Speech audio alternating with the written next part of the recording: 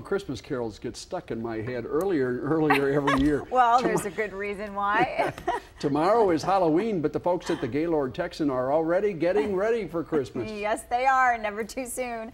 The annual Lone Star Christmas event starts in less than two weeks with millions of lights and decorations that will turn the Grapevine Resort into a winter wonderland. Heather Hays joins us now to reveal this year's theme.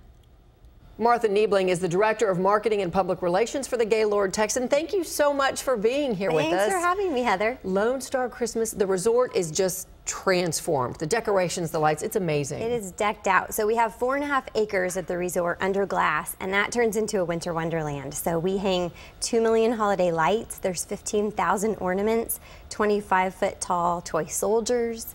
It's amazing. I think for somebody who hasn't been there before to see this. I don't know that the pictures and the video do it justice. Because it's truly it it's magical. And then you see all the pictures the the family holiday pictures mm -hmm. that people mm-hmm. are taking. I think it's one of the most popular places to take your holiday photo now because there are so many settings. Yes. And what i think is really cool about it is we have a special events and production team and they work all year round in an offsite warehouse to develop all of the things that you see. So when you see those decorations those aren't anything you can buy anywhere in the world. They're all handmade by our team. So they are working not just during the holiday season but it's all the time round. We all work year round for Christmas, so it's definitely our favorite time, and it's so fun to be open for Christmas and see the families oh, come sure. in and get to enjoy it. So let's talk about ice because that starts November mm -hmm, 10th. 10th. November 10th. It's coming yeah. up, but you have got because what two million pounds of ice that these artisans are going to be carving. Yeah. Tell us about the theme this year because it changes every year. Right. The theme is different every year, which is, gives us something new for families to experience. And it's Santa Claus is coming to town. Which so I we're love. really excited. We've had Frosty, we've had the Nutcracker, Shrek the Halls, Charlie Brown. I know you've been to many of those. Yes. Um, but it's going to be a really nice classic theme this year. And these artisans are already carving. Mm-hmm. They're already hard at work. So we bring them um, in October all the way from Harbin, China. So they travel across the world. They're master ice carvers. Um, the first thing they do is they make the ice themselves in an ice plant that we rent. Um, and they do all the different colors that you see, as well as clear ice that might look like crystal or frosted that looks like Santa's beard.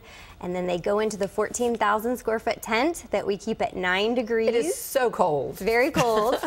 um, and start carving away. So it takes them 30 days to carve. It's amazing when it's done. Well, I think too, so you, people can walk through the nine degrees with the special mm -hmm. blue parkas Everybody on. gets a complimentary parka. Yeah, so definitely. Because it's so cold. And then you've got the tubing. And then one thing new this year, you've got ice skating, ice right? Ice skating, yeah. So right next door to ice, we have snow tubing, and it's a 12 lane snow tubing hill made with 2 million pounds of real snow. And then outdoors, the new ice skating rink. Outside, it's going to be a 5,000 square foot ice skating rink.